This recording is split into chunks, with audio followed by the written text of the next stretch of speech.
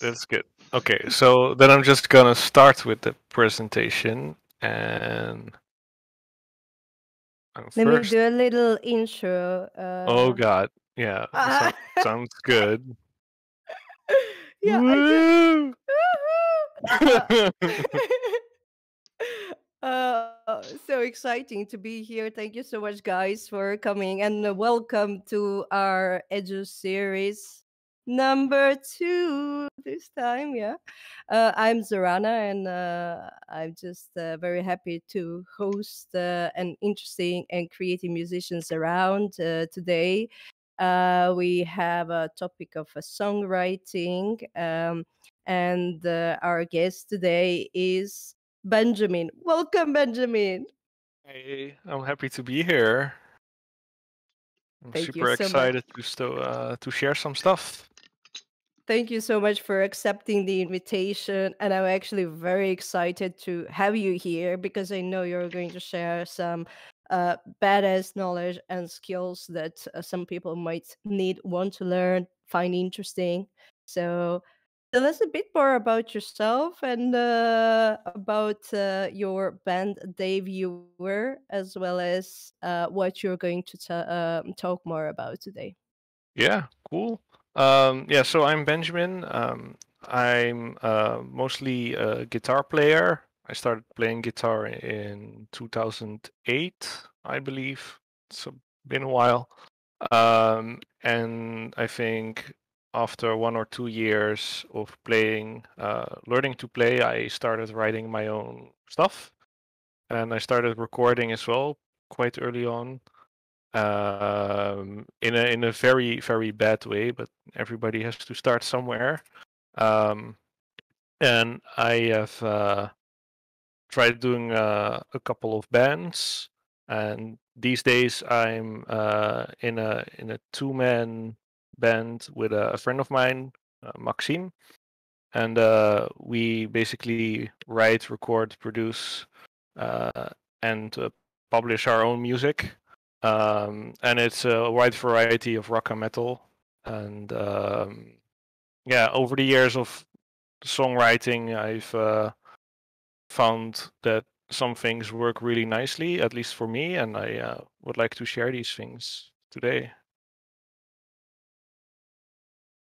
I think what you guys making is amazing. If anyone didn't check, uh, go to Spotify or- or any other streaming platform and check Dayviewer, a really cool band, and he did in and a very exciting variety of genres per song and really interesting concept there. Um, just gonna hand you. Go for it, Benjamin. Uh, show us what you have prepared. Yeah, cool. Thanks. Um, well, today I'm uh, gonna mainly go into uh, writing uh, rock songs, um, and um, I'll also be showing a little bit of demoing. Um, I'm not gonna go in depth on uh, um, hardware or software. Um, mostly talking about the creative process. So, um, what we'll be talking today is um, first off, like how do you even start writing your own songs, or where do you start? Uh, what you need, um, and after that, we're gonna um, go into a step-by-step process of how I would write a song. So I've prepared a small track for you all today, um, and I uh, made it little like snippets of the entire process of it. Um, and for recording, I'm just gonna give some quick tips uh, on what you can do, uh, mostly creative. So, where to start when you uh, want to um, write your own material? So, first of all, it's of course uh, very important to find music that inspires you. So, these uh, this music that just you know can be the influence for your own songs. Um, but it's not just um, listening. You really need to go all the way into how those songs are made up. So you can study the sections and overall build of those songs. Um, like you know what kind of structure does the song have um, what type of um, recognizable uh, playing and uh, vocal styles are in the, the genre or the, the music that you like. Um, for example, like a lot of metal bands can use blast beats, for example, and like how are those used and in what type of sections are they used? Um, it's just getting an overall feel of the the the song and then also really pay attention to each layer so um, what does each instrument do? So it's really uh, good to know how certain instruments play off of each other um, and how they really make a section up together.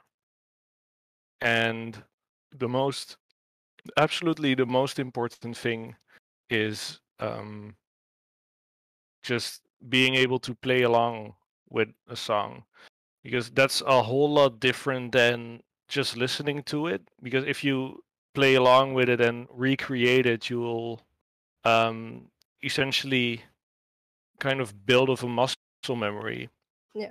and um, if you have this muscle memory down it will be a lot easier to come up with your own material because you know uh, the kind of notes you would like to use or the kind of progressions the kind of chords the kind of rhythms um, the type of vocal lines all those type of things so that's by far one of the most important things to get inspired and also how to learn how to write songs is by actually playing uh, existing ones I have a question here, and you said something that is actually uh, inviting my question that is recreate.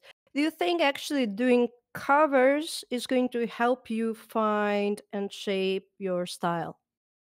I think so yes um if you if you create a cover you need to make you, you still need to make everything from scratch so you need to recreate uh the drum beats you need to recreate like the guitar riffs or the the vocal lines and um doing that you will uh get a lot more knowledge on how that is all done and how it works together um uh compared to just listening to it Definitely, yep. So next is where to start. Uh, you can start very small. So uh, you can write a whole song based on one simple melody you have in your head. Um, you can have like a vocal melody um, or a riff or uh, a beat in your head.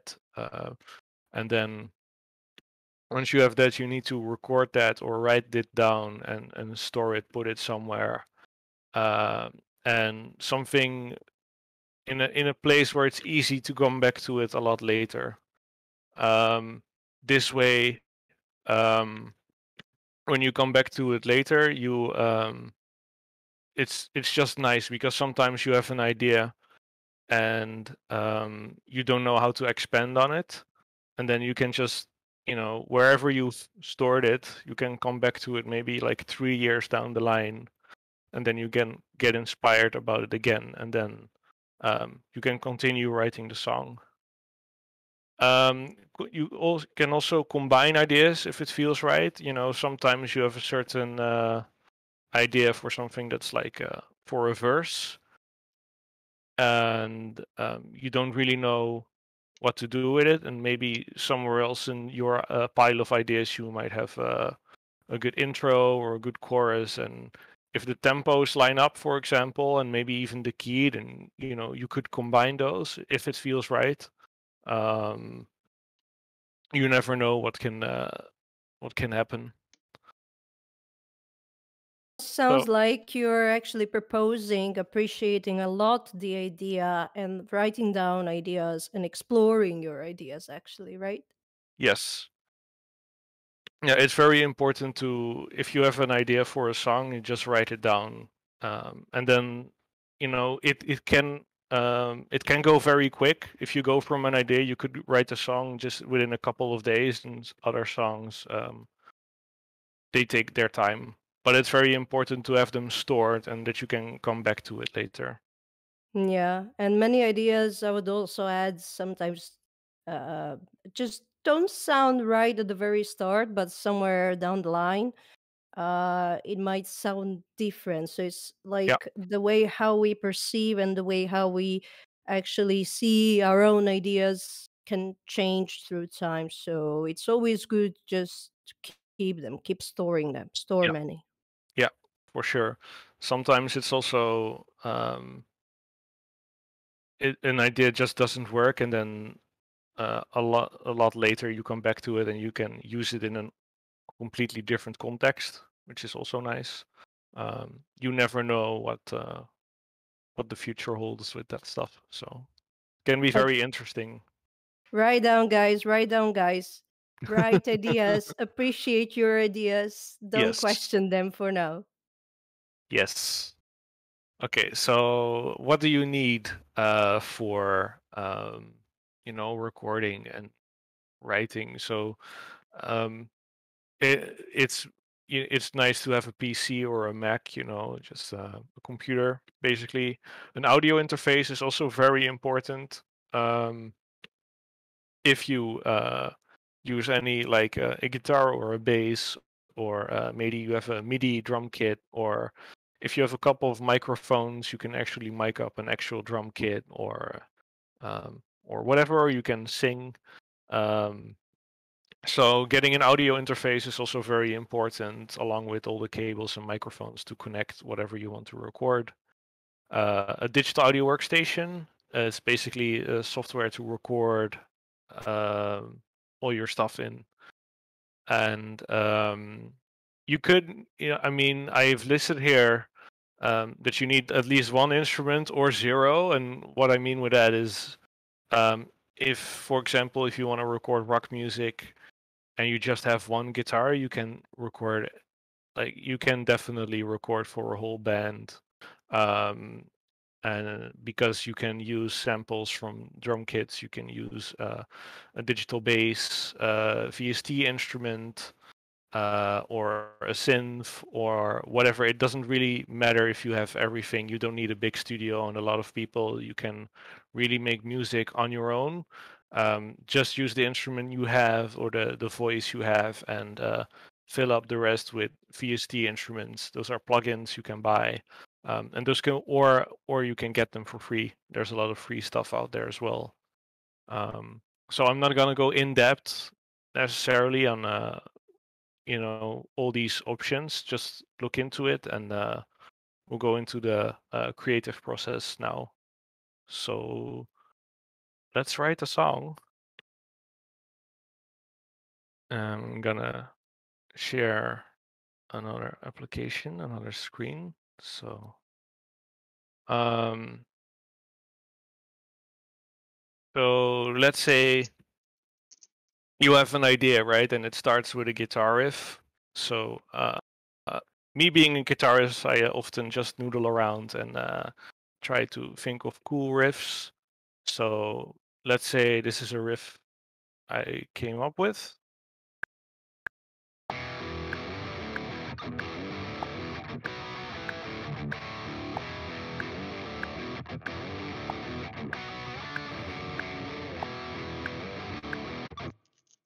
So, I hope that was audible for everybody. Yes, from this side, everyone Okay. heard that? Yeah. Okay, cool. So this is an idea uh, I have for a, a guitar riff, and at this point it's just this. It's nothing else yet. Um, so I have already recorded it, uh, so I could save this and then work on it later. So what I can do is I can choose to now add like uh, a drumming VST, for example, and then program drums that go along with it, and then record some bass, um, and then maybe record bits for another song. I can do that all within this software. However, I personally prefer writing in a different software called Guitar Pro, uh, which you don't need to record anything for. You just need to say like, "Hey, this is what's being played," and it will play it back for you. So Um, we're gonna have most of the chorus actually within that software. So I'm gonna um, share that screen now with you. Um, let's see where it is.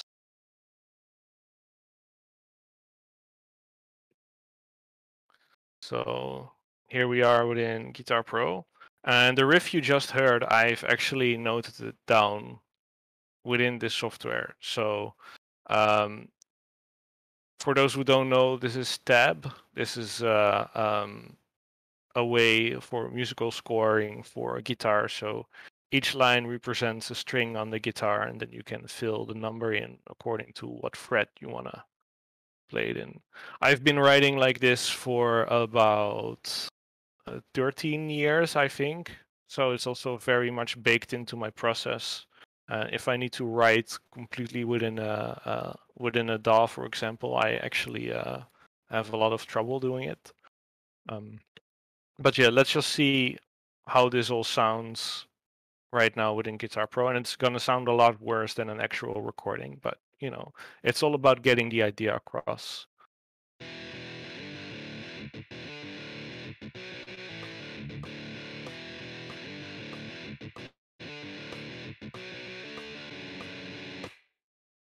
So this is uh, that same riff that I just shared, uh, the recording of within Guitar Pro, and um, this is basically, you know, I can save this file and I uh, put it on my uh, Dropbox, and then it'll be there. And then um, if you have other people working and collaborating with you on music, you can very much easily share this stuff, and then somebody other, uh, someone else can add more to this. Um, so it's also a very lightweight way of uh, collaborating on music. Um, now we have this guitar riff, and that's all we have. And um, let's say we're gonna add drums first, because drums are very important in the overall feel of the whole thing. So these are some drums here, and I'm just gonna um, solo them so you can hear.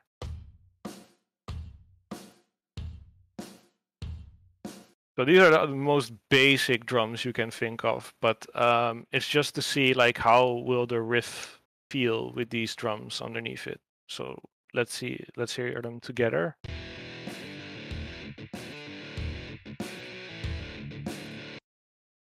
So that's very basic, um, but drums definitely can change up a whole lot if we change the drum beats for a bit. So um, what if we double time it, for example?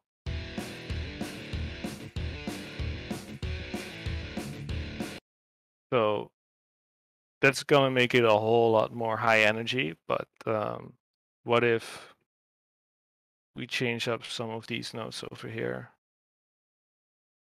And technically, you know, the snare is still in the same place, but it's this thing, these changes I made here is gonna make it feel a lot more different. You'll hear.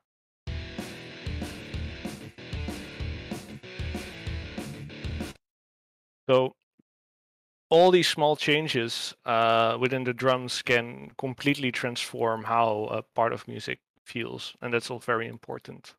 So what I did eventually is um, I looked where the riff, uh, what the guitar riff was doing, and the guitar riff in itself has some possible uh, parts where you can say, I want to accentuate this so let's just listen to the riff on its own for a little bit.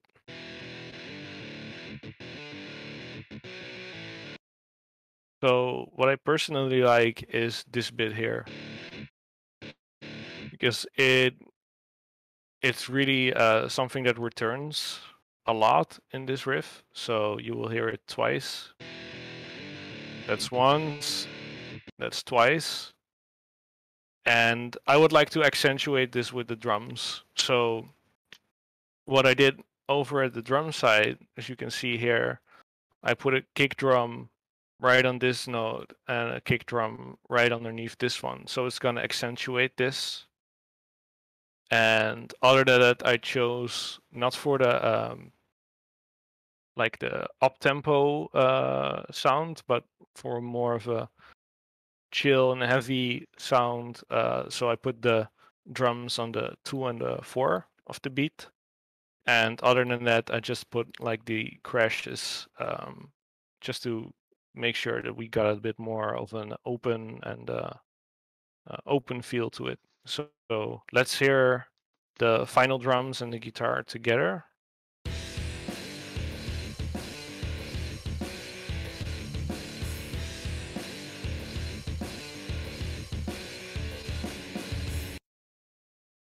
So yeah, this is just shows how um, how the drums and the guitar can work together here, or how the you know one of them can support the other. Um, and the drums have a bit of an open sound to them on their own. Um, the guitar is pretty uh, rigid, with a lot of um, um, stops to it with these um, palm muted uh, muted notes. Um, and there's a lot going on. You know, there's a lot of notes here uh, overall, and the drums are quite relaxed. They only play whatever you want to uh, um, accentuate, except for for for this one. Uh, this kick right here doesn't really accentuate a part that's necessary to the guitar riff, but it's always nice to have, or at least I feel it's nice to have a, a a kick drum that leads up to the snare. So let's listen to that. Mm, hold on.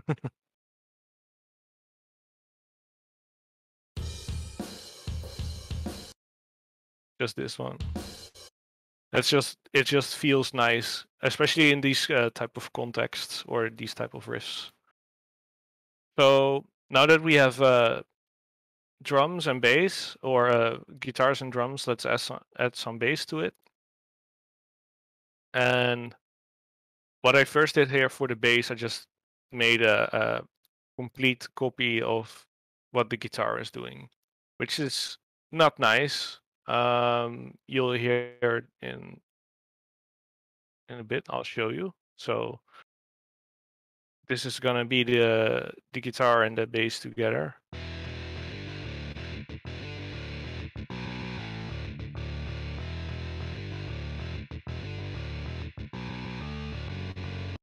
So this is a completely viable option, right? But uh, if you uh, the, the the the bass is not really adding anything here, um, and um, they also say a lot of people say that uh, the bass and drums are like best friends, and right now uh, because of the bass is really following the guitar, it's not really um, in the same type of like open it doesn't really have the same openness as the the drums do.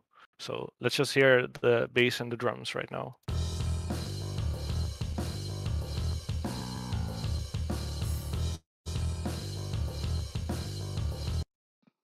So yeah, it basically it's basically the guitar riff. So yeah, I did hear a little bit at the end, the tiny difference in uh, bass and guitar, but I guess mm, minimal differences, maximal, you know, impact just yeah, because this is so typical and expected in rock music. yeah. Well, so this is uh, if I would really, you know, almost copy it. So this is not the final thing I'm going for actually. So let's just change things up a bit. So this is the bass part that um, I eventually went with. And as you can see, it's a lot different. So um, I'm playing a lot more with some higher notes, and there's a lot less notes as well. So let's just listen to it soloed.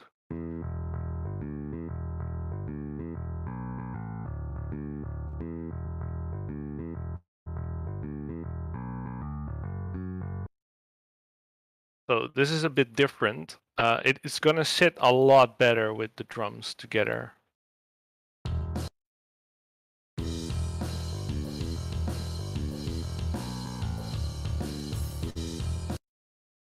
So um, the bass is a, a, lot more open right now, which goes along with the drums. and for the guitar, I um, accented some notes. So the same notes that I chose to accent in the riff with those uh, uh, kick uh, kick drums over here, I actually um, played them higher in the in the bass. So I uh, played them in the same octave as uh, the guitar does instead of one lower. So here's how it all sounds together.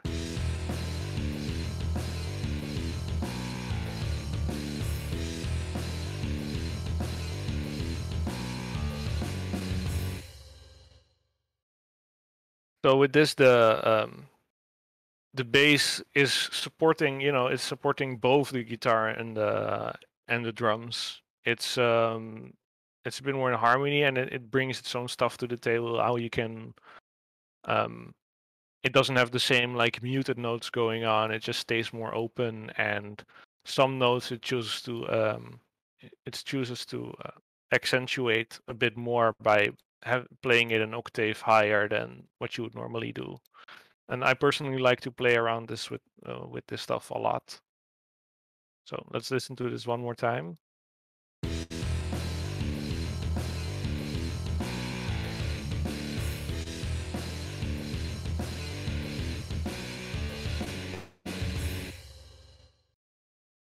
So now we have basically written the whole section, right? Um, if we go back, we just had the guitar riff.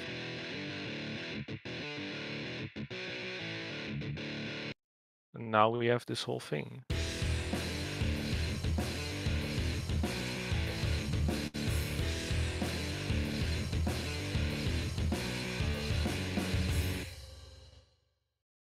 And uh, this section here could make for a nice intro or uh, a solid chorus. Um, I think both would work really great. Um, and let's say for this song, we would pick it as an intro.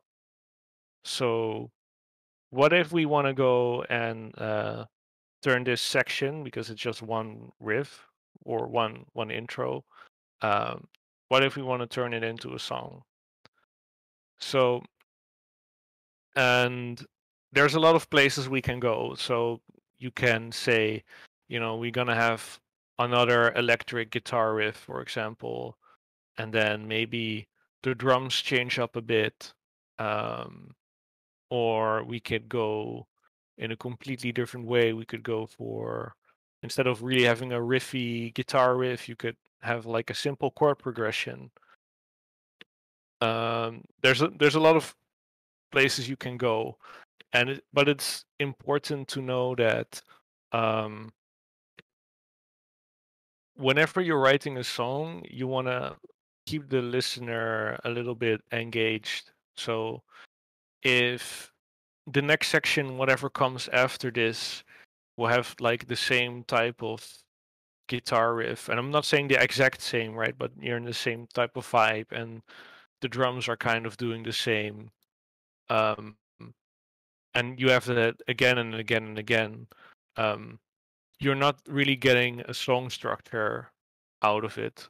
There needs to be certain changes going on. So you could have so first of all, you could say the vocals are coming in after this. You, you could still be playing like the same riff and same uh, drum beat underneath because the vocals will bring something new. Um, but um, one thing you could do after that is just even only change the drums, for example. You can go double time and then everything will be again interesting. Um, and we will, um, um, you know, go back into uh, or dive deeper into adding some more variation in your composition later in the song. Um, for this, I actually chose to um, go for a chord progression um, because we have this really riffy guitar riff, and it's nice to go to a basic song progression after that, especially if we want to go into like a verse part. Um, so let's hear this progression.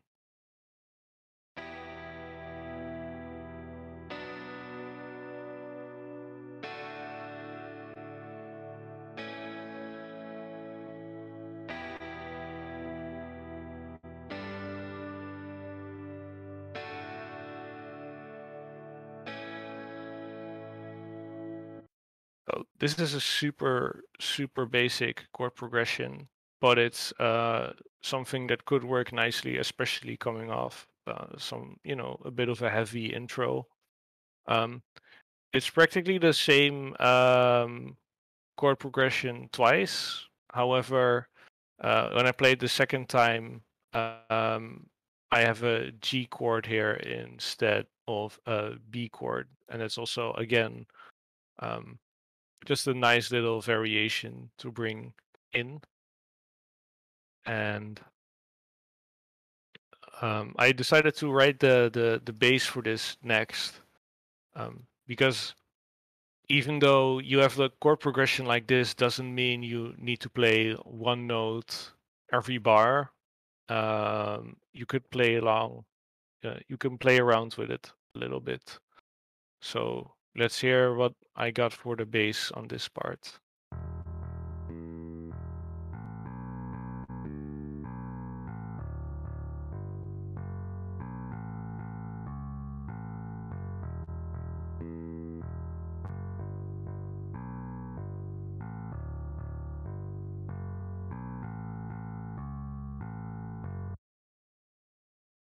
So it's uh, it's doing its its thing, you know, completely the bass line, but it's still within the chord progression, as you'll hear.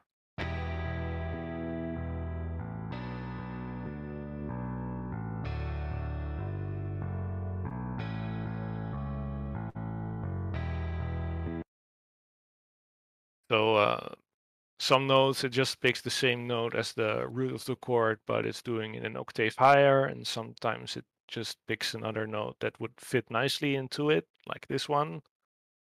And sometimes, uh, or mostly in this case, almost every time, the last note of the bar will lead nicely into the one from the next chord. Uh, these are type of things that you just it it'll um, I'm sure like theoretically uh, there will be an explanation for this. I don't I don't know music theory very well, but um, it's it it all goes on feel something that feels right. So um, sometimes you have to choose like a different note uh, that will feel better to progress to the next one. Um, so let's put some drums under this. So as the drums in the last uh, section, uh, we had like a snare on the two and a four, and uh, I thought for this section it would be fun to put the snare on a different bit and also not use the snare outright, uh, but just have a small little like uh, rim shot. So um, this is how it sounds in this example. Let me see. Yes, here we are.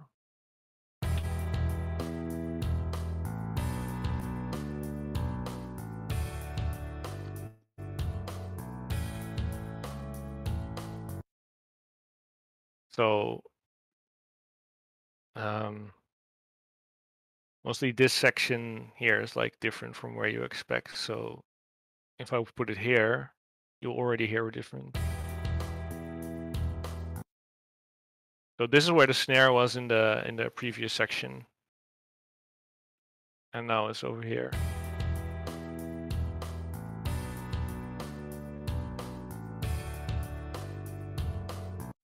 And I also choose to accent some of the notes that the bass is doing. So that the um, drum and the bass are kind of like, you know, they're uh, working together. What you do notice, however, if the drums are the same every bar, the exact same, it does kind of get a little boring. So let's just listen to that closely.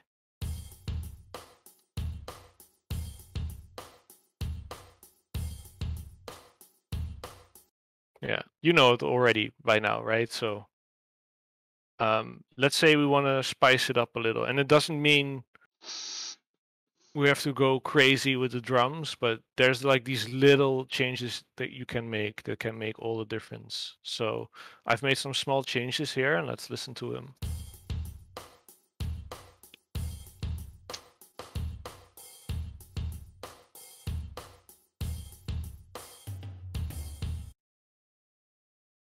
So um, it feels the same, and it, it is the same throughout. But there's the, like these little changes that will make it a lot more interesting to listen to the whole thing.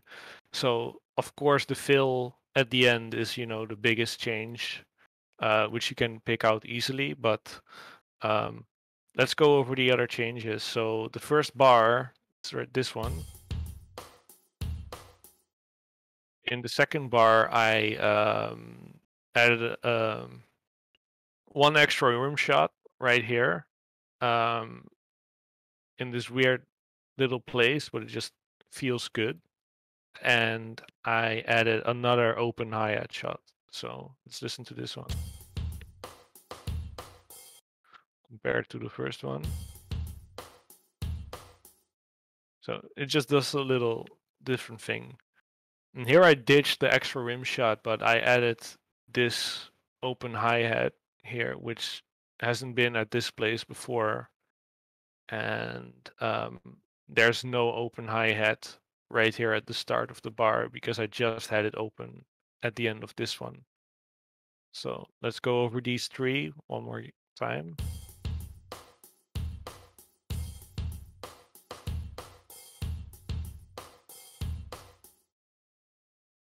So you don't need to go crazy with your drums, but it does. Um, it kind of makes it a bit more interesting to listen to this whole section. And then, of course, we have this little fill here right at the end, the last bar. Yeah, I guess these uh, tiny events and the variations on uh, what's there are giving a bit more liveliness as well as natural feel because Yeah. regular everyday drummer would just indeed a little add here and there, Yes. this Yeah. that. If we try to think intuitively how you're making this, just trying to imagine that you're a drummer. Yeah. But on the other hand, yeah, just think of uh, like you you have only a bass, chords going, and the drum that has exactly the same pattern. Or the third and fourth repetition is too much if everything is exactly the same, right? Yes. Exactly. So let's listen to this uh, together with the guitar and the bass.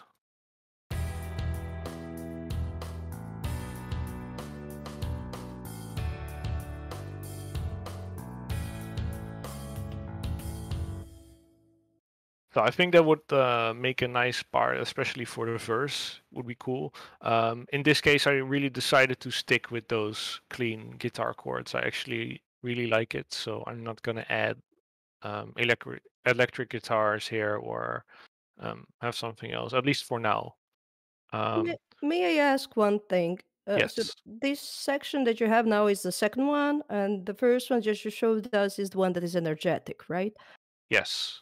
Uh, how did you decide what you're going for in the second section? And how did you come up with, okay, maybe you decided feel, it's obvious that it's calmer, but how did you know that this part is going to be compatible with the first part, with the first section that you showed us? Yes. Did you have any type of way of joining these and thinking how they're similar or different? hmm So um, I actually is like the next part we're going into is how we're gonna make a transition because um, yes, part one is very energetic and this part really isn't. Um, the one thing is though is that uh, of course it's still all in the same key, same tempo, so that already helps. Um, but there's also um, this little thing in the guitar riff over here that some of the accents are not exactly like on the one, two, three, or the four of the beat. Sometimes it goes like in between, uh, which you could say adds a bit of a groove to it. Um, and with the bass here, I do the same. It's um, it's not a very you know um, on the on the count type of feel. Um, and that combined with the uh, references of uh, listening to a lot of songs in uh, certain styles, um, I was able to say like, okay, this could work together. because there's a lot of uh, like rock songs um, that you know have this energetic bit and then they calm down and then they build back up. Um, so with that knowledge, I was like, okay, let's let's try for more calm parts for the verse. But um, yeah, as we'll see next, actually, um, it's not gonna work out as great if you put the one section directly uh, after the other. So um, let's continue with that, and then uh, we'll uh, see where this journey takes us. Um, yeah, so what I did here is I took the first section, our rocking section, and I uh, pl uh, placed the uh, calm section directly after it. Let's listen how that sounds.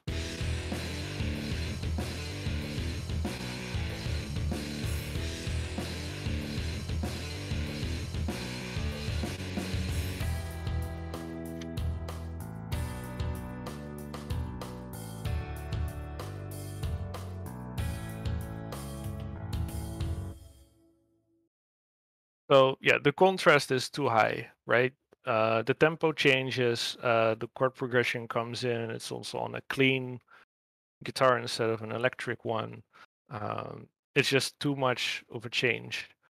So um, what we can do to uh, fix this is first say, well, maybe the uh, electric guitar does like one final chord, so you can still hear that going after the, the verse starts. So let's hear what that does.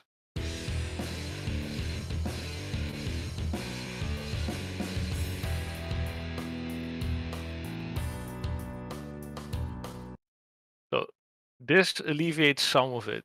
Um, it's already a bit of a less jarring transition because you have some leftover from, or like almost a reminder from the previous part but it's not there yet. I think we need something more. So let's um, make like let's end this uh, guitar section here and really give it room to end and give time to introduce the new section.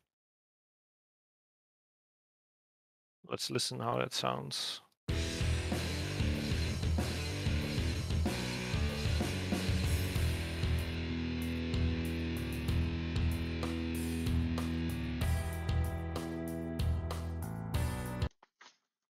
So now we're getting somewhere.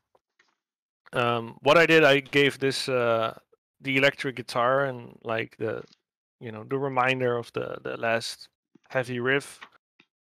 I gave it two full bars to let this main chord ring out, and at the same time, um, the bass is already doing some of what it will do in the verse and the drums are first like calming down. Um, they're doing a bit of a count in, and then they, it's introducing the next section. So let's first hear like the last bar of the last section. So it's very energetic, and and see how this uh, how from this section sounds again. So it's different, but um, let's see how this transition sounds and so that you can see what I did here.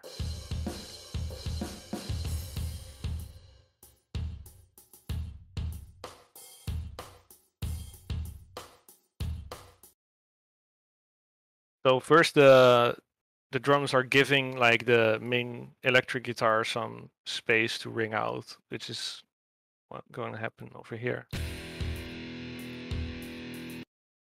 And basically you know it's you can do this even to get back into a more electric riff once again. So only when this bar kicks in you get a bit of an introduction already to the section afters because at the same parts i uh, get the rim shot on the snare.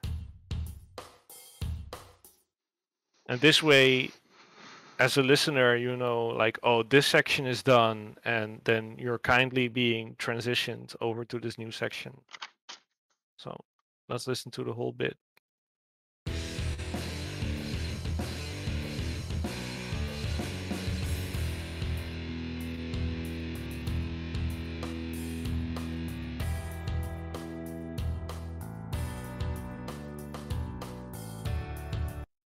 that's already better, a lot better. But I think we can do one more thing. Um, sometimes it's nice to just add uh, one extra like reminder or almost like a warning that we're done with a certain part. Um, that's gonna sound like this.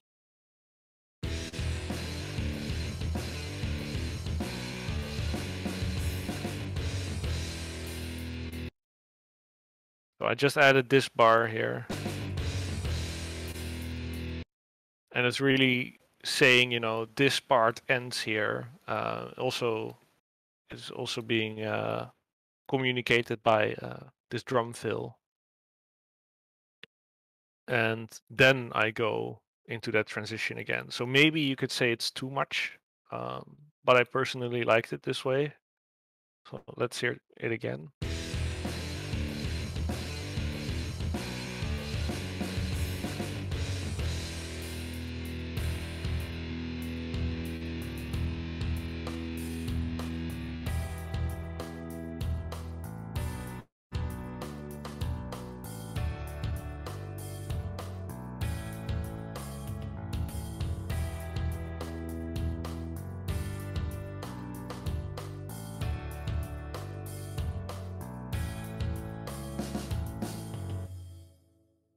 That sounds phenomenal and so organic altogether, really. Yes. I have a very interesting tiny question here, yes. um, and that is connected to the symmetry. Are you not afraid because it's really common in music, like you have four bars, eight bars, two bars, and hmm things are very often uh, connected in formal way, uh, symmetrical way. And when there is a repetition, the repetition is very often similar with a minimal difference.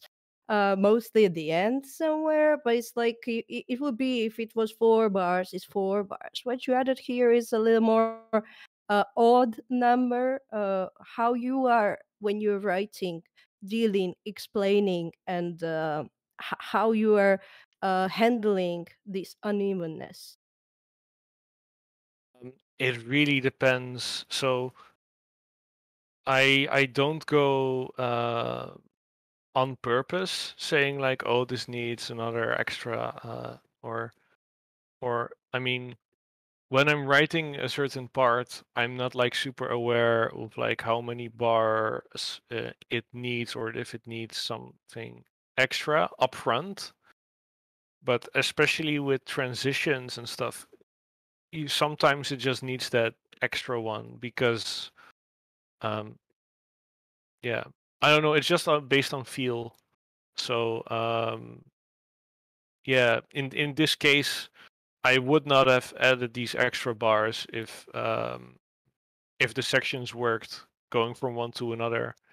Um but um i really needed the transition to go from one part to another and then i just um added an extra bar and then i added another extra one because it just makes it feel better and it gives you more time to uh, to introduce the next section or close off another one. Um, Yes, yeah, it's it almost really uh, like you're trouble, uh, uh, like you you're searching for the uh, tr- you're troubleshooting, and then after that you're actually having that this complete freedom to add everywhere, even a little extra bar, a little reef, Yeah, extending, uh, shortening. Um, th- this is actually your indeed uh, really uh, th- this this shows your prog mind because uh, prog music would always go this way. Things are so not symmetrical there, and there are so many uh, these small um, uh, additionals here and there, and it's very well connected to the development of the motive and the feel of it, and not the symmetry of the parts. Very often they are asymmetrical yeah, in so many ways. yeah. It it really depends. It it just at the end of the day, it needs to feel good. So if yeah, if you're going from one part to another, needs to feel good, and um, you know whatever it takes. If you need to add one more bar or three, it's it's fine. It shows a lot of uh, creativity, and I think this is a really good and key moment for people to open their minds because I think very often they would be afraid to do this. Yeah. That, that this would be the moment where they would pull back and say, "Hey, uh, I cannot just add now here one extra bar. What is this?" Uh, and that's actually very often the moment where the courageousness uh, pays off uh, because here you're giving an, a little bit of extra flavor, a little bit of extra variation, and unevenness, which very often catches uh, listeners' ear. Yeah. Yeah. Cool. Um, so when we go on, um, you just notice this whole section uh, with the clean guitar and the bass groove, um, and it's nice. Um, and it's uh, eight bars long, and I think you know you can add vocals over this and it'd be awesome, but um, to just go over into a completely different section after this with electric guitars um, is also not um, I would almost find it a pity because as the listener, you're really just getting into it. Um, and um, sometimes it's better to build off a certain part and to evolve it other than uh, creating something entirely new. So that's what we're gonna do. So what I'd like is to take this part as a whole and um, maybe just add some electric guitar to it and just to build off this uh, build off this whole chord progression so um, yeah let's see how that sounds if i add some guitar to this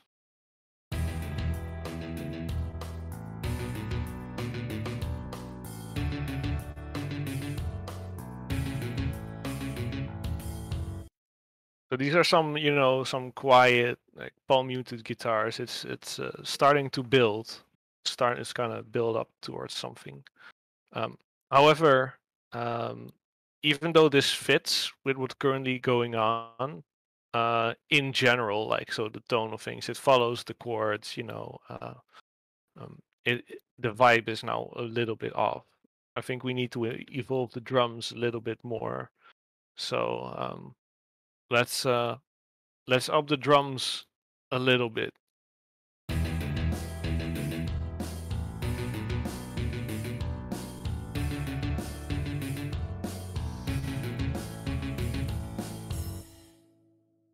So what I did here is uh, I added, you know, a little bit more extra kick, I believe, and mostly like the snares going. Just I don't hit the, the the rim anymore. I just hit the, you know, the actual snare, and um, I'm going from all closed hi hats to a bit more open. I'm not going completely open on the hi hats yet, as you can see. I always use the I also use the closed ones, and it creates a bit more of a interesting pattern.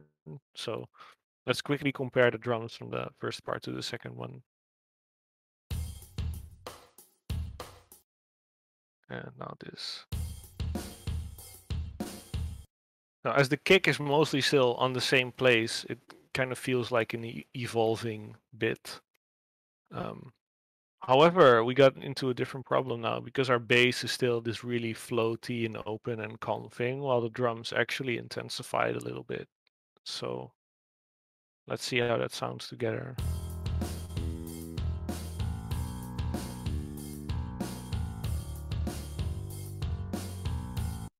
I think actually the the bass could use a bit more flavor uh, and maybe follow up on the guitar a little bit more because those two are just too disconnected right now if you listen to them.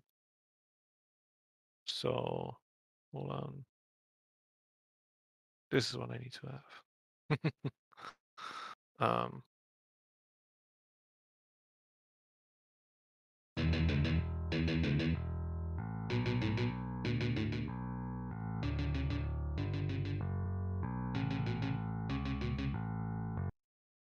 there's just too big of a difference between them.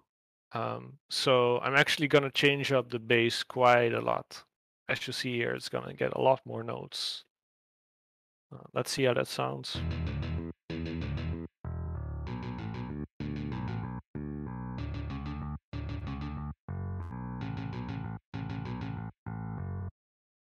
And it's kind of following the guitar, but it's also like every time the guitar stops, the bass stops only one note later, um, and it kind of seems to make it pop it out a bit more. It's like saying, "Hi, I'm still there," um, and it's still the way it moves around is still reminiscent of that first part. Um, however, might it now be too too different from that first part? Let's listen. Um, let's listen to this whole thing.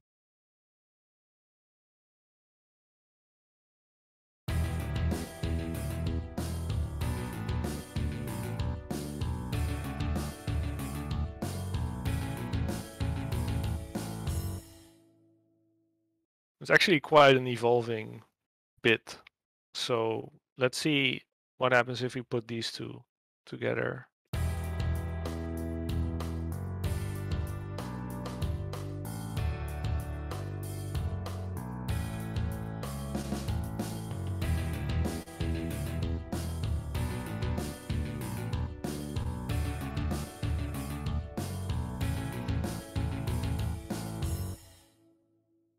This actually kind of seems to work nicely. Um, however, one of the main reasons is that of that is because I kind of announce the part up front with this little drum fill over here.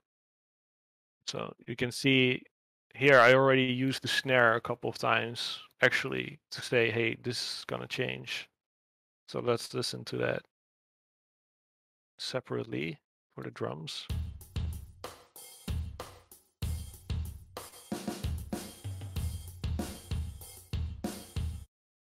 So that fill really creates a nice little transition over to this next part. And we're still using the same elements mostly. Um, so that's what makes it work. And we're still on the same general tempo and uh, it's the exact same chord progression. It's just, you know, uh, just a little bit spicier than before. So let's listen to this one more time.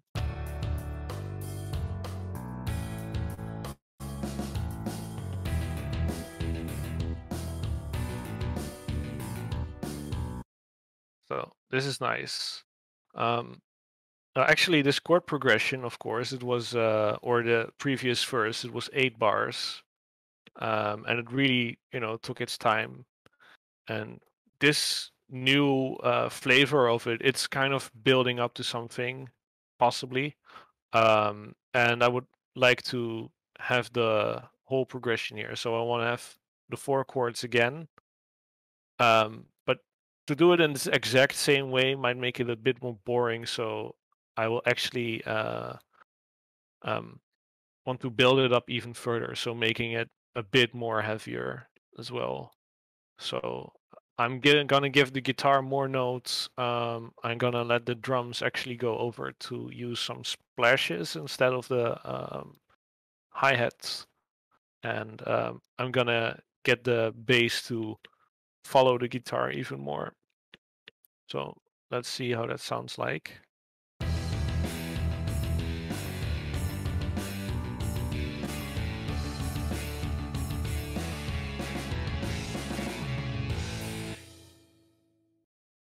So it's really again, you know, an evolvement of that last bit, uh, but again, slightly heavier, and really that ending is really building up something with this nice little uh, lengthy drum fill and the way how this last chord ends. So let's listen to the last two bars.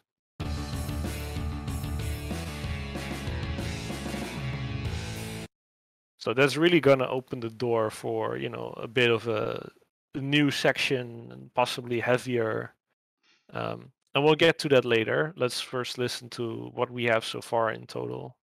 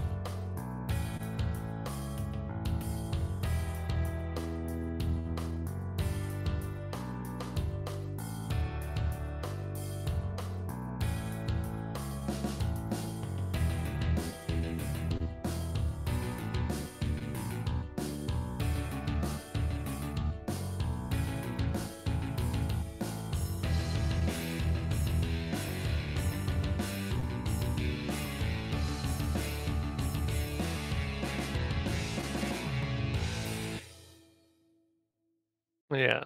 Looks like uh, we got a little bit more of a song on our hands now. It's really got, you know, a nice thing going on. Um, the intro could be a bit longer though.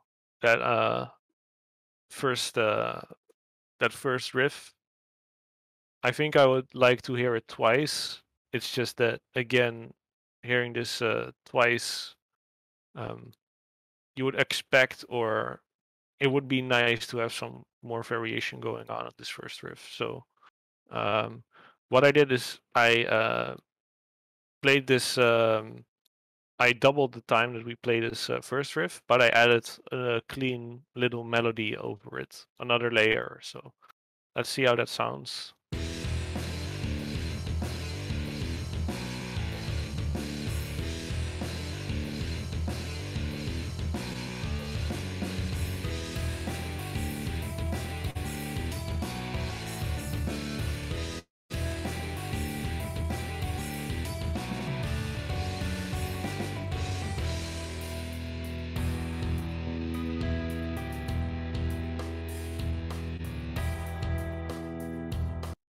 So I did this with the clean guitar, and it's not really like a, a very, I would say, uh, a melody that you could, you know, um, in the traditional sense. I would say it's um, it's mostly meant to give some extra texture to what the guitar is doing here, and it's also again accenting some parts. So um, it goes it accents the rhythm as well, the whole thing, and some of the chords. So let's listen to this on its own.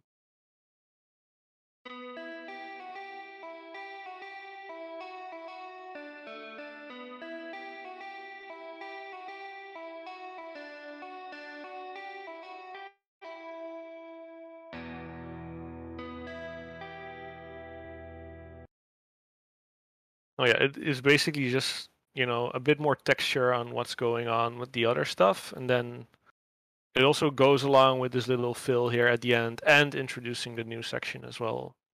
So let's listen to that in total. Start from here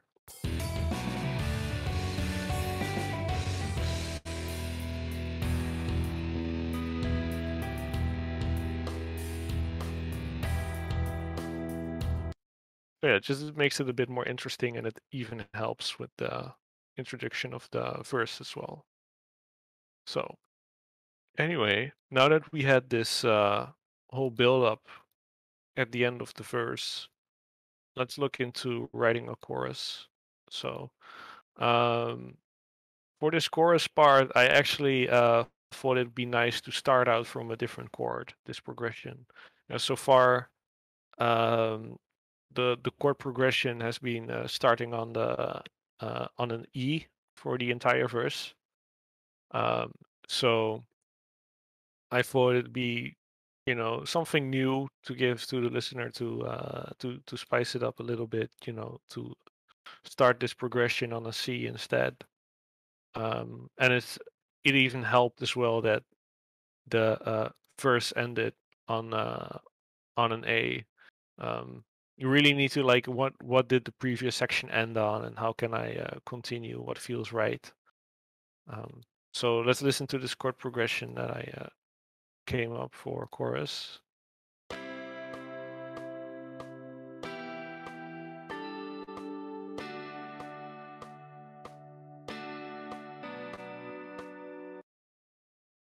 So it's something different. Again it has some uh, fun uh, harmonic things going on as well. Um, but I don't want to play like this whole chord because um, we already had like whole chords playing like this the entire time during the verse. So I want to do something different. Um, and it also sounded like uh, with the drums especially that we're building up to something of a higher tempo which also would be nice so um, yeah, let's see. We're gonna go electric as well. On the electric guitar, we're gonna go heavy. So uh, let's see how this bit sounds here.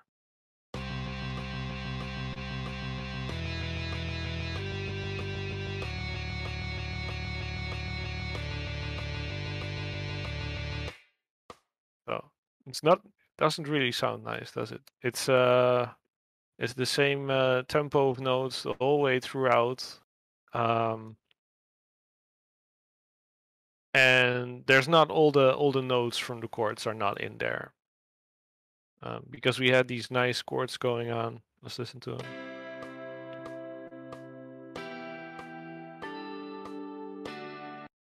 And uh, now now we just get this.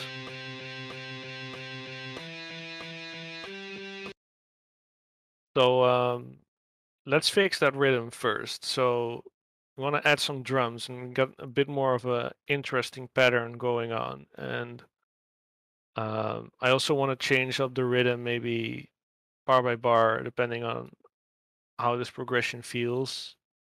So let's maybe first just listen to the guitars here to get more context on where we where we came from.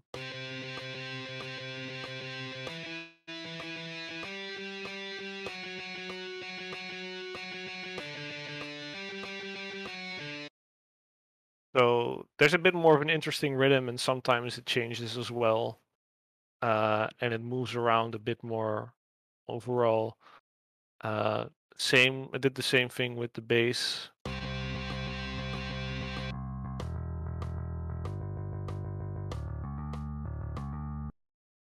So, but of course, this needs uh, more drums to get into context. So.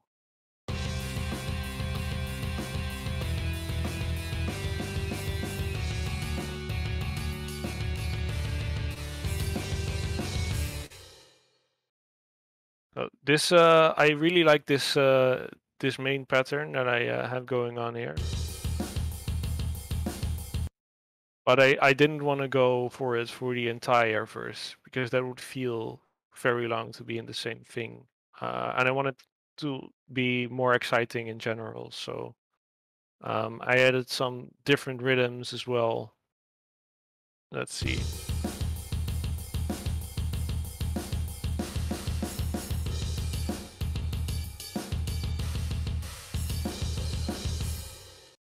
Very busy part. Uh, it changes a lot, but um, for me personally, it works because um, it's just the, these lot of variations, and also with how the chord progression goes, it kind of drops at the end uh, down, which is also accented on the bass. Um, because you go to, to the absolute lowest note in the whole progression, and you know it's nice to go a little bit heavier there as well. So that's where we got the China hits outside here, and uh, we missing a snare hit. You know, we still miss the uh, um, extra uh, notes from the um, chords that made it interesting, and I decided to add those with uh, some extra guitar layers, as uh, harmonies. So let's listen to those for a little bit.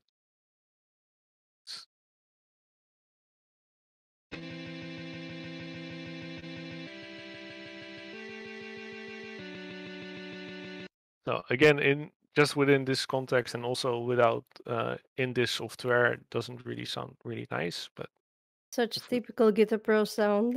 yes, but if we listen to everything, it will uh, be kind of cool.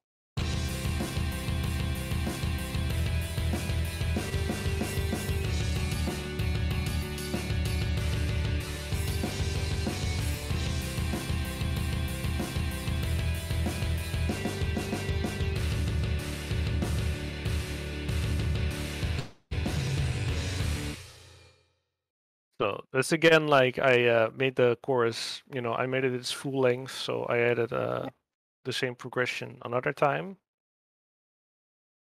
And I also added these like chuggy chords at the end to make it a bit more heavier.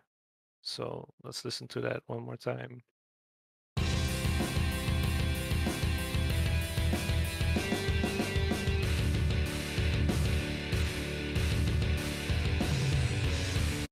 And the drums go full in on that as well.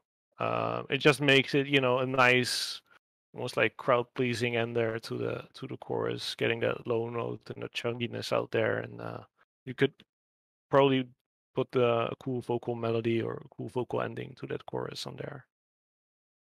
So uh, now that we have uh, a chorus, let's uh, just listen to how the whole track sounds.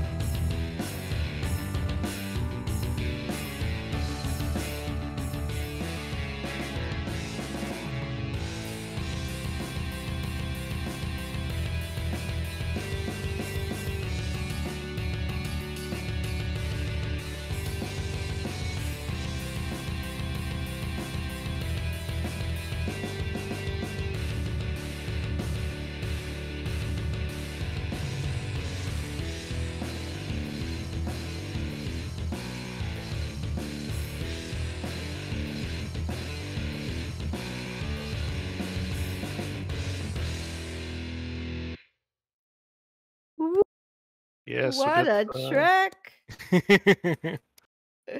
so that's the whole thing. Uh, as you can see, like I added the main riff again back after the chorus. Uh, it's uh, it's almost a standard to do that, but it's fun.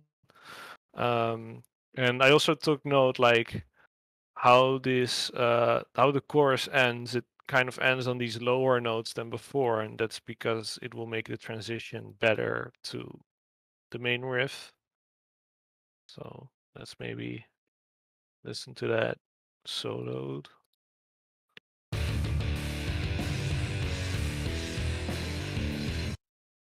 Also with a nice little uh, drum fill here to make the transition. So, um, and of course, you know, you can add another verse after this, or you could go into a bridge. Uh, but you know, it's it's about uh, um, you can use the same type of methods. You know, you can come up with a completely new part uh, the same way uh, that we written all the previous ones. Um, and now it comes down to recording this whole thing. So either uh, this is so this is the way I work. So after I have like a song that I'm you know mostly happy with, then I'll eh, within Guitar Pro, then I'll record it. Um, but you could have gone through this whole process just within your DAW while having recorded everything. Um, that's definitely also a nice way to do it. Um, but for me, you know, I write here first and then I record it.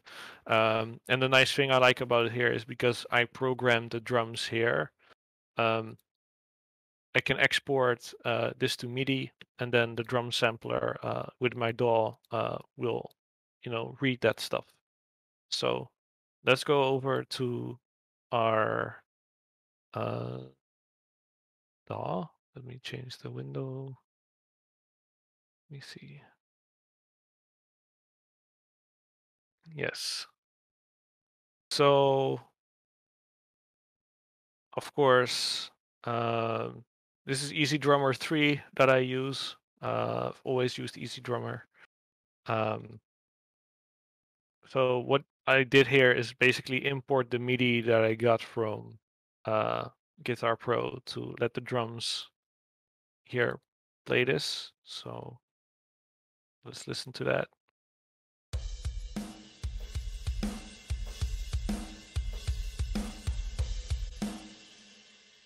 Already sounds a lot better than Guitar Pro, right? Um, but you know, even if um, if you don't want to write your own drum parts and you don't want to use Guitar Pro, there's actually within EZdrummer a lot of different, you know, pre-made drum grooves that you can use. Um, and you can write, uh, use these to write songs quite easily.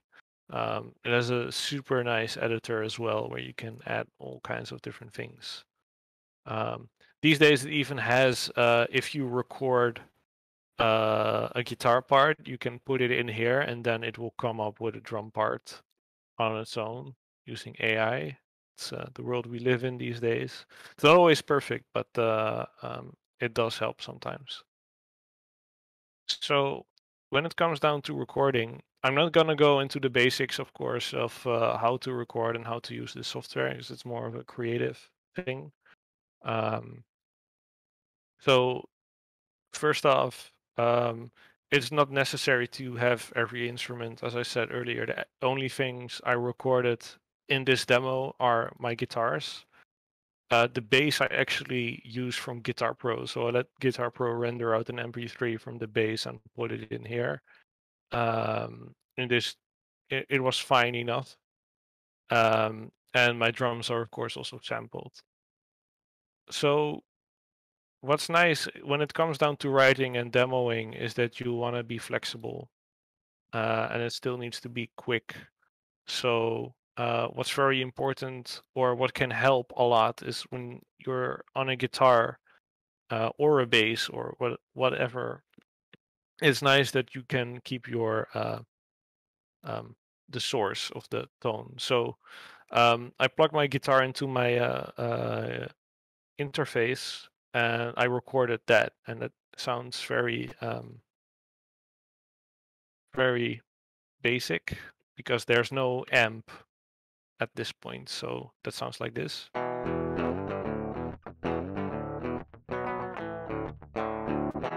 Not super impressive, of course, but um, I use um, uh, software called Helix to make a, you know, to simulate a guitar tone out of this. Um, and this is nice because I can get a completely get different guitar tone even after I recorded it. So right now it sounds like this.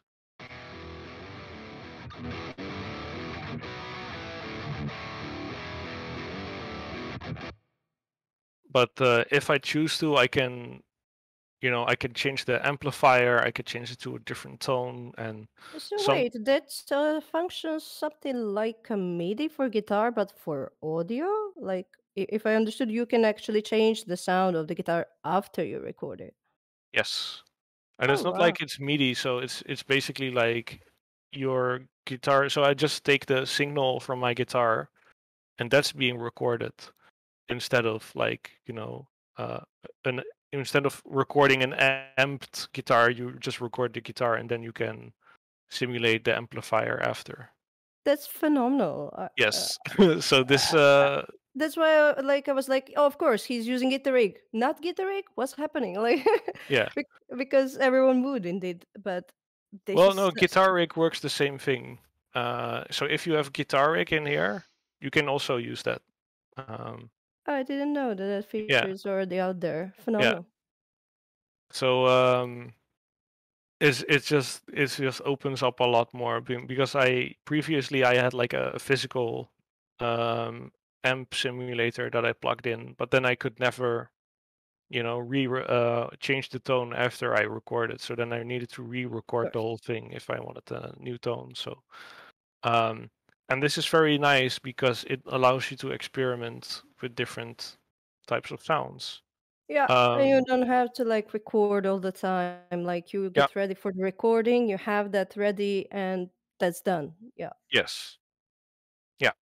And also for this demo, um, I also wanted to play around with different types of sounds. So what I did is I um, mainly tried experimenting with the verse and uh, the intro. So also, by the way, um, when you're recording a demo, um, just really feel free to copy paste bits. So the the verse riff from the intro, I uh, copy pasted it so that I had it again at the end, and I didn't need to re-record it. Um, I did some really nasty copy pasting and blending for the chords. Um, it doesn't have to be perfect, you know. You just need to get the idea across.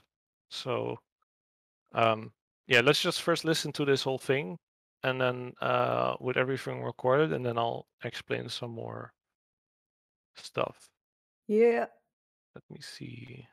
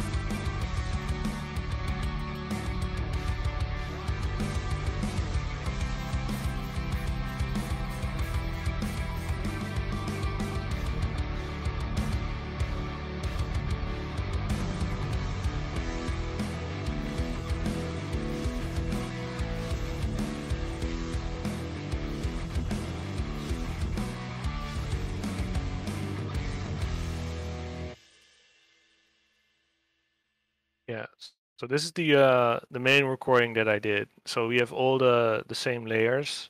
Um, the only thing I mostly wanted to experiment with was the sound of certain things. So, um, for example, this intro, uh, the intro layer was a clean uh, sound in the in the in the Guitar Pro, but I also experimented with having it electric. So let's first listen to this uh, clean one I did.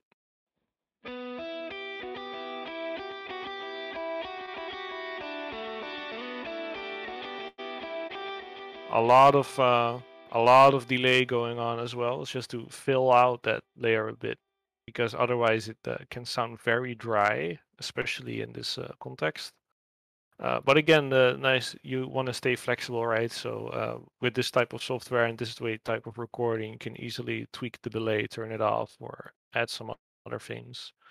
Um, but in the creative process, I didn't really think this sounded that good uh, at the beginning, and I actually uh, recorded this as in a more of a lead electric part. So let's hear that.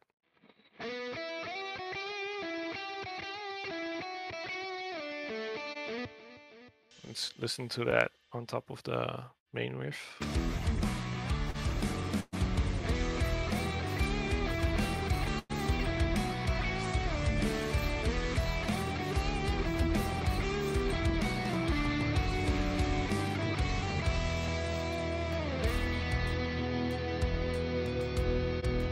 So that's also a totally viable option, right? It's it's very important to keep experimenting later on with different types of sounds.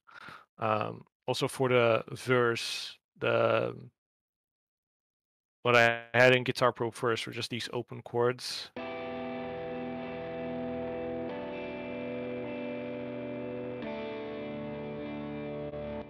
Mm, eventually, I went with something a bit more, you know, different. um, mo mostly strumming like the the separate notes in each chord. So let's listen.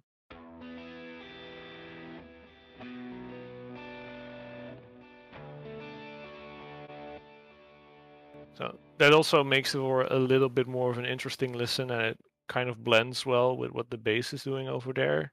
You could even do both at the same time, just have it as nice little layers. So just like this.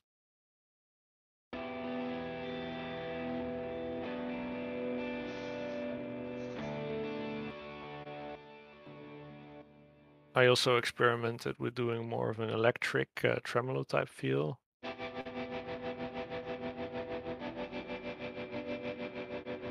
But I didn't really uh, thought that one worked so well. Let's listen to that in combination with the rest of the track.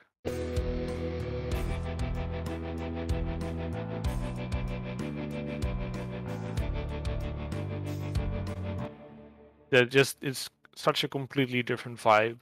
I thought it would, would really work nicely, but at the end, uh, it didn't. To, today, not anymore. It's it sounds uh nineties. yeah, it sounds so nineties.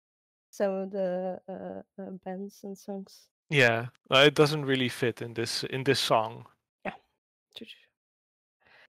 So, um, yeah, I guess that's what I have to say about recording. Is is you want to stay flexible with still looking up important or, or different types of sounds and different types of vibes if you feel necessary. Some um, that's what I have when when I record with Guitar Pro or uh, when I write with Guitar Pro. When I actually record it, it's it just feels different sometimes. Um, and then it's important to you know stay flexible and try some different type of variations or different types of recordings to see what does work and what doesn't.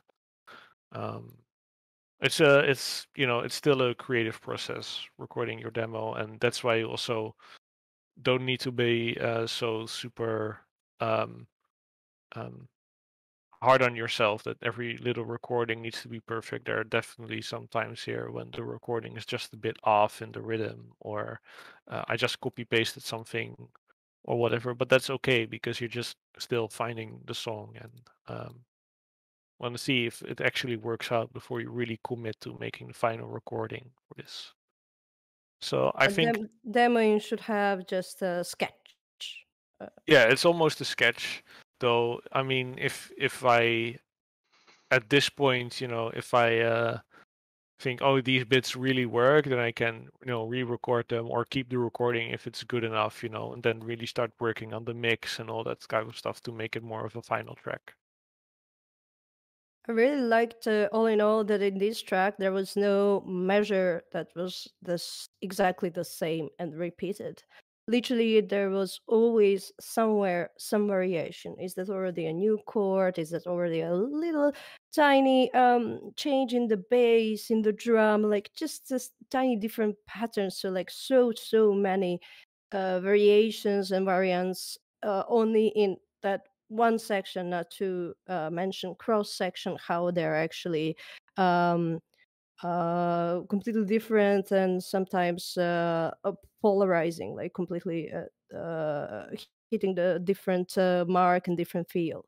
Yeah. Uh, so this is also probably a good advice to send to someone uh, if they want to write to have a lot of different uh, differences and uh, variations throughout the song.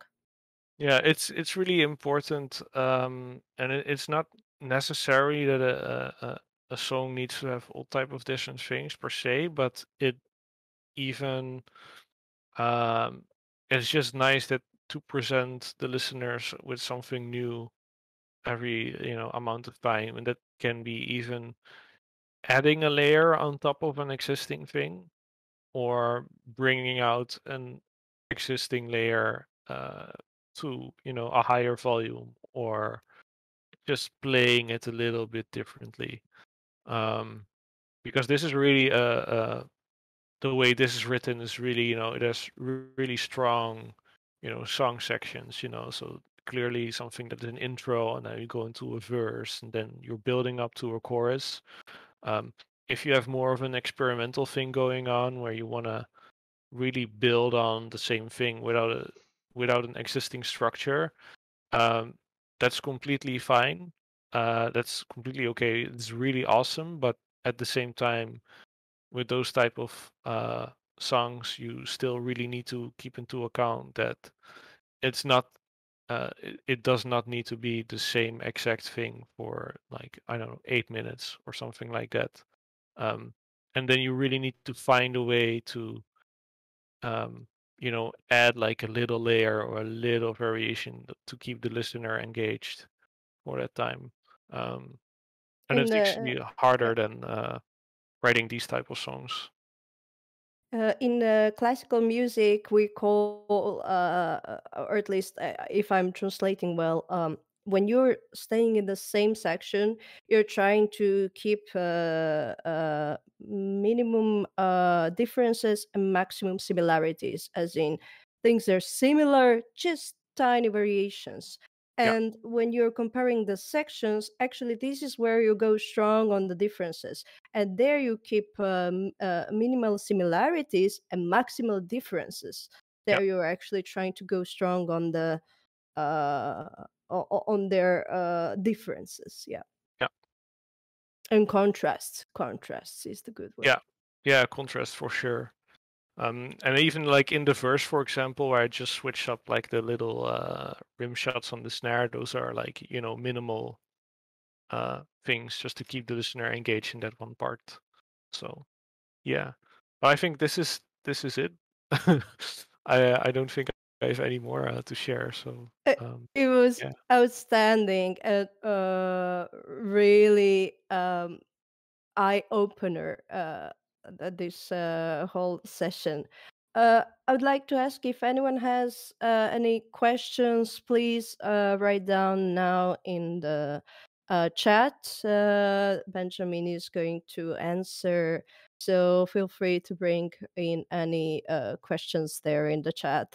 And in the meantime, uh, uh, we are here from the Stellar Sound Foundation, and the team is here collaborating and creating this edu series that we started in order to educate, in order to promote uh, good uh, song making, music making, creativity, and uniqueness in uh, music industry. Um, I would like to invite everyone to check our podcast called Stellar Sound Podcast, where we are um, uh, hosting a unique and groundbreaking musicians all over the world. Uh, this uh, session is going to be available on our uh, Patreon and Discord, so please join us. And very soon we are going to indeed start with the Patreon, so support us. Um, feel free uh, to write your impressions on uh, uh, on uh, one of our channels called uh, Feedback and Improvements. Uh, we really like to hear and see all your suggestions.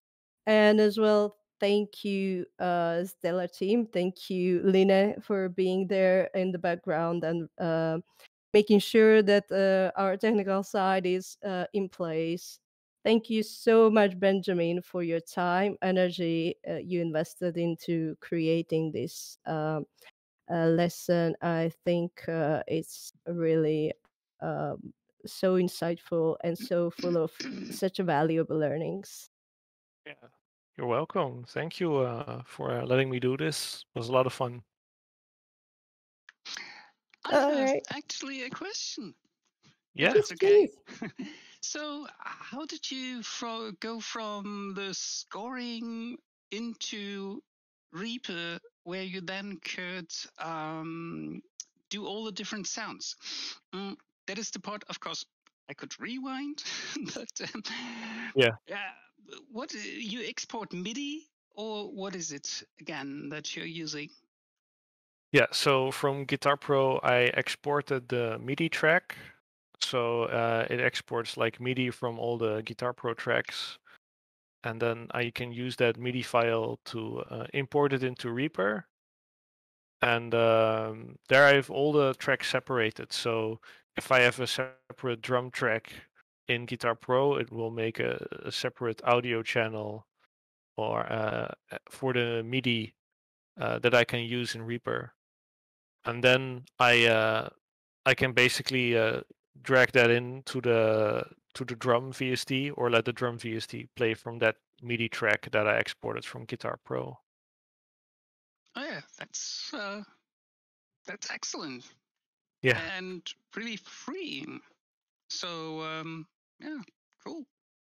yeah, uh, it it really helps a lot, and uh, sometimes I also use it for just scoring different type of things. So um, within Guitar Pro, you can also create like synth lines or synth tracks or even like orchestral tracks, and it, it, it doesn't really sound you know impressive, but it's really important just to have it there for the scoring and then you can export it to MIDI. So I also wrote like uh, synth uh, tracks or uh, violin or piano tracks within Guitar Pro that I then exported, and then I had the MIDI ready to go when I uh, went into Reaper. Of course, and then it doesn't have to say a violin, for example. Can Yeah. be anything. Yeah, yeah, exactly. So sometimes I uh, basically copy pasted uh, a guitar track to uh, to a synth, and that would just add a little bit of extra layering, for example. Um, so yeah, that's a it's a very again flexible way of working. That could be even another EDU session. Um, sound design, layering, and stuff like that. Oh yeah, yeah, that would be cool. It's a nice uh, parallel to the Sibelius, which is truly made for uh, scoring and mostly, I guess, orchestral and classical Yeah. type. But indeed, the Guitar uh, Pro, I guess, is made for guitarists. You have Yeah. tabs. Many do know only tab type of reading. Yeah, I I am only now getting into reading actual sheet music because so far I've only read tab. So, um, but yeah, for me it's, it's always been nice, and uh, Guitar Pro has also been a huge help in learning how to write music because I uh, there's a lot of Guitar Pro files out there from existing songs, and opening one of those. Uh, you can- you can really quickly see, you know, how a song is built up, and especially like how certain drum parts are made, or uh, so uh, that's a, that was a huge help. Articulation. Yeah, articulation matters a lot to learn and understand what's what. Yeah. Yeah. Uh, good stuff. Truly good stuff. Um, awesome. Thank you so much, guys. Thank you for being here, Lina. Uh, good job, and thank you so much uh, for participating. I mean, you know it. We're already here every day. And Benjamin, yeah, our first official guest, but it's like uh, uh second uh, episode. I'm really Yeah. looking forward to see uh every next being completely different. Uh, the Yeah. topics are gonna be truly di- uh, yeah, like uh, on a completely different level every time. So Yeah, awesome. Yeah, it was nice. Yeah, indeed. Cool. yeah, Also, the the variation parts really um, is something I get into personally now into composing to do interesting stuff with minimal changes, but that keep it interesting. This is a vital thing. Yeah. Yeah. Yeah, really just uh practice with that stuff, you know, and it mostly it, it it all comes down to feel. If you play back a certain part and you feel like um it's not interesting enough or whatever, then you can see, you know, what what little change can I make and then play back. It's a lot of trial and error and a lot of different things and it, it it's all come it all comes down to feel. Mm. good feels, good feels, my friend. Awesome. cool. Yeah, shall we wrap it up? Yeah, let's uh, wrap it. Yeah, uh, I, I did my uh, thank you, everyone, and thank you so much. So I'm just now waiting for us to have a little chatter at the end, which we will probably cut out. maybe, maybe, yeah.